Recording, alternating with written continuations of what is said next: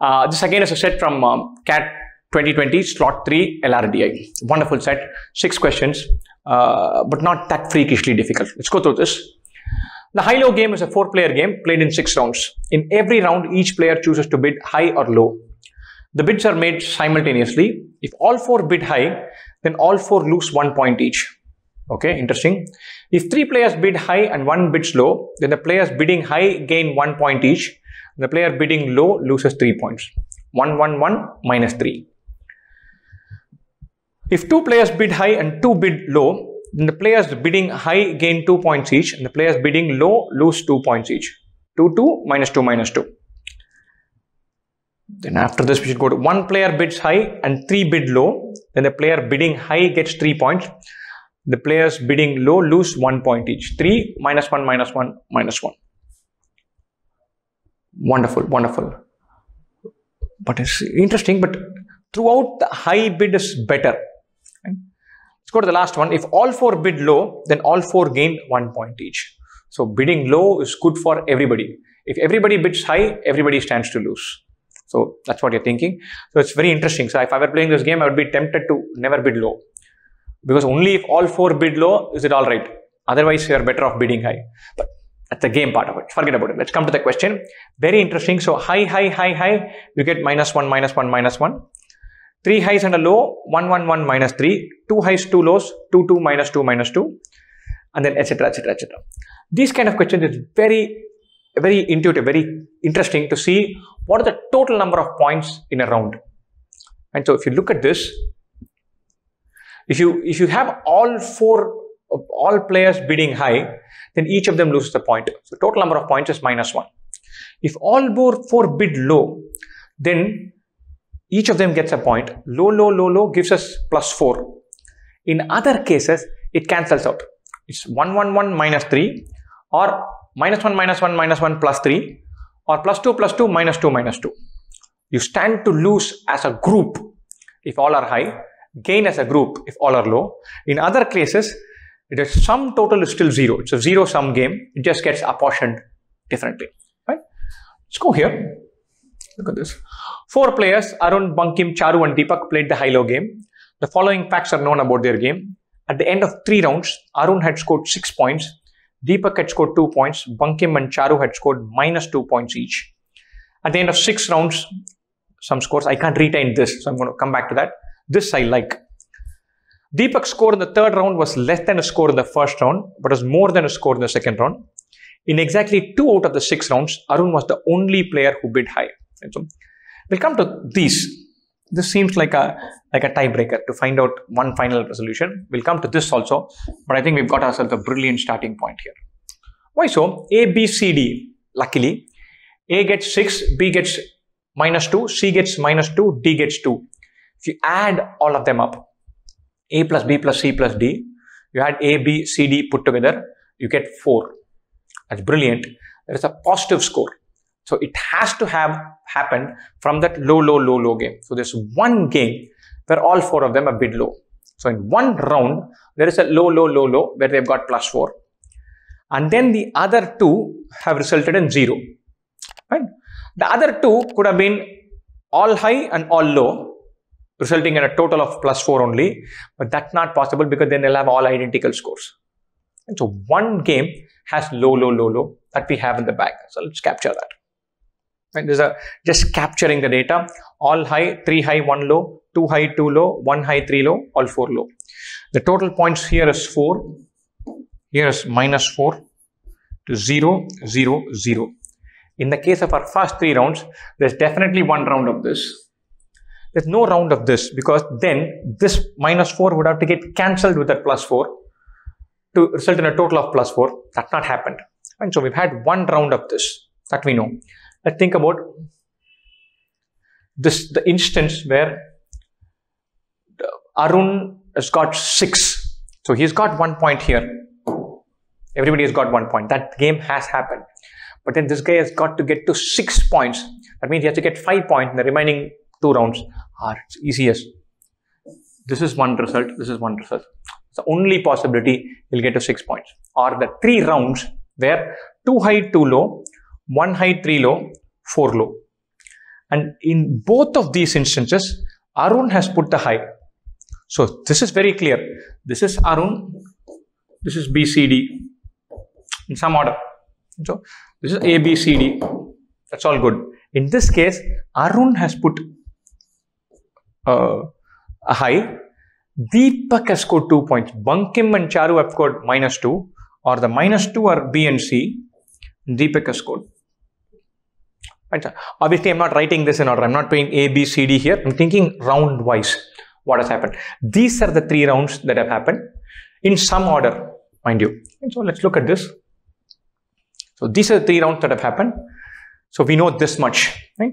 And we also know that the HHLL has been A and D have been high, B and C have been low. Now let's look at this, this point. It's a wonderful point which says Dipak's score in the third round was less than his score in the first round, but was more than his score in the second round. Third round was less than one in the first round, more than in the second round. Second round should have been minimum. First round should have been maximum. As it turns out, this order is fine. Or we can clearly say this was round one, this was round two, this was round three. And so his Dipak score in the third round was less than his score in the first round, more than his score in the second round. Yeah, 1 is less than 2, greater than minus 1. So we've not only got R1, R2, R3 together, we know what was round 1, what was round 2, what was round 3. Wonderful. So now let's go and take this game to the next three rounds. Right? At the end of six rounds, Arun had scored seven points. Bum, Bankim and Dipak had scored minus one point each and Charu had scored minus 5 points. So we get the data till 6 rounds. We already know the data till 3 rounds. So I want to think about rounds 4, 5 and 6 put together. What do they account for? So I want to think about R4, R5, R6. Arun has gone from 6 to 7 or Arun has scored 1 point. Bankim has gone from minus 2 to minus 1 or Arun has scored 1, Bankim has scored minus 1, uh, Charu has gone from minus 2 to minus 5. Charu has picked up minus 3 and Dipak has gone from 2 to minus 1.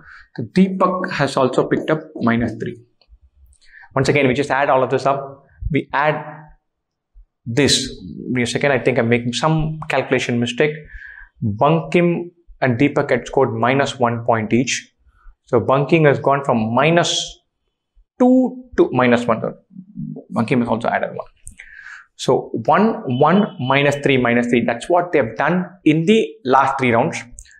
Add all of this up, we get minus 4. Or in the last three rounds, there's one round of minus 4, which is all high. There's one round which is all high. Again, same reasoning. It's not the remaining is not coming from this and this combined. Otherwise, they have got identical scores. So in the last three rounds, there's no round of 4 low. One round of this already happening. Lovely. So let's capture that. And so now let's come back to this. A got 1, B got plus 1, C and D got minus 3 each. And so there's one game where all of them got minus 1, minus 1, minus 1, minus 1. If you leave out that game, a has got plus 2, B has got plus 2, C and D have got minus 2 and minus 2. And so, so 2, 2, minus 2, minus 2 is not just one game. It doesn't work like that. They could not have that just this game because then there'll be no room for the last game. So it's not just this. And so it has to be some combination. Remember, if I combine this and this, it gets tricky. So A could have got three points and then a minus 1 later on. But if anyone gets a minus 3, we are in trouble. We cannot, we don't have an offsetting plus 1 in the next match. Or you think about it, both instances were just this. So A wins in one game and B wins in one game. So A has a plus 3 and a minus 1. B has a plus 3 and a minus 1. C and D pick up minus 1, minus 1 in both rounds, adding up to their minus 2, minus 2. We are good to go. So in the last three rounds, there is there are two instances of HLLL, one high and three lows. So H, LLL, there are two instances of that happening with A being the H in one case and B being the H in one case. And there's one instance of all four being high. Lovely. So let's put that in. Two instances of H, LLL and one of HHHH. In these two instances, in one case, A is the guy who's put high. In one case, B is the guy who's put high. Which is why minus 1, sorry, 3 plus minus 1 is 2, which is what was remaining. 3 minus 1 minus 1 is 1, which is what he added in the last three rounds. Now let's put the entire data set together. Round 1 to round 6. Rounds 1, 2, 3 we know. 4, 5, 6 we know. But remember, 4, 5, 6 we know that these rounds happen. But we cannot say for sure what happened in round 4, what happened in round 5, what happened in round 6. That we don't know. We don't know what exactly happened in round 4. And this could have been in some other order could have been HLLL, HHHH, HLLL. Right? So multiple possibilities exist in the sequencing of this, but broadly, these three rounds happen. This will tie up with all the data that we have been given. Once we have this, we can jump in and attempt the questions. What are the bits made by A, B, C, and D respectively in the first round? H, L, L, H, high, low, low, high. In how many rounds did Arun bid high? In how many rounds did Arun bid high? One, two, three, four. In how many rounds did Bankim bid low? One, two, three, four. In how many rounds did all four players make identical bids? Four highs and four lows.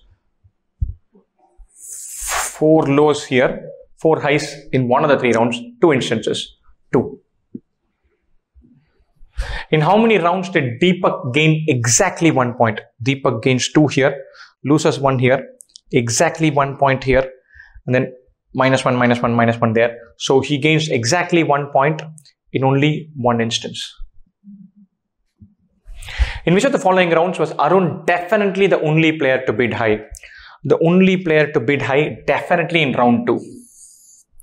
He is the only player to bid high in one of these three rounds also. But we cannot say whether it was round 4 or round 5 or round 6. We can say for sure that in round 2, he was the only player to bid high. But in round 4, 5, 6, within that, in one, he was the only player. We don't know which one. So for sure, we can say second round.